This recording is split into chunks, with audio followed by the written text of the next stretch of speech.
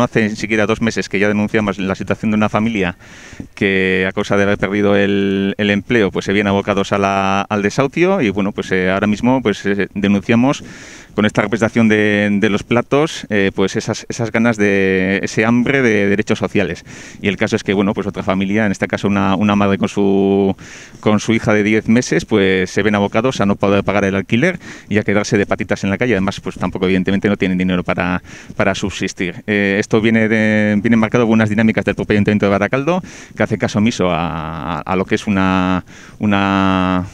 bueno, una verdad absoluta, que es que el número de casos eh, ya hace tiempo ya que había aumentado, que los recursos no son, no son suficientes, que ahora mismo de, de todas las familias que hay en, el, en, paro y con situaciones de, de, necesidad en el pueblo, solo, solo al 40%, menos del 40%, eh, se le consiguen, eh, consiguen atravesar la marisma de, requisitos burocráticos para llegar a las, a las ayudas sociales y cuando, y cuando además lo consiguen, pues vemos que esas ayudas el ayuntamiento ya de facto las ha recortado en un 20%. decíamos, hablábamos de esa de esa marisma de, de, requisitos burocráticos y también queríamos denunciar que desde, desde noviembre hasta, hasta febrero de este, de este año esas ayudas han estado, han estado, han estado cortadas por, falta de presupuesto. Entonces, bueno, ahí denunciamos que ese 65% de familias que necesitan esos recursos pues se han quedado sin ellos.